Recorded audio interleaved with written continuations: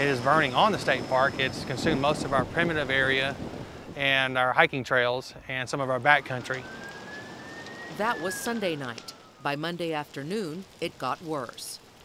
Well, it looks pretty bleak at the moment. Uh, we're the threatened the cabins at Bastrop are pretty well threatened. I think we're going to be able to save them tonight. But Tuesday, the fire was closing in on Bastrop State Park's refectory, an historic building built by the Civilian Conservation Corps during the 1930s. On that far part of the flank. So far, over 75 Texas Parks and Wildlife personnel, including state park firefighters, parks police, and game wardens, have bulldozed fire lanes, sprayed water on buildings and campgrounds in an attempt to save the park. It's questionable with the smoke you can see coming along here. If it gets into this canyon down below us here, it's going to be very difficult to hold the fire from going all the way to Bastrop.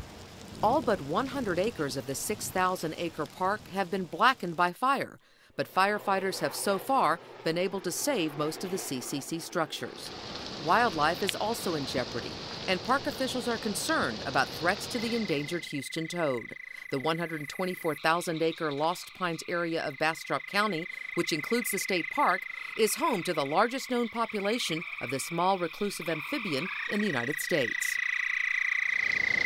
Months of drought has already stressed the Houston toad habitat and makes for fast fuel for a wildfire's appetite.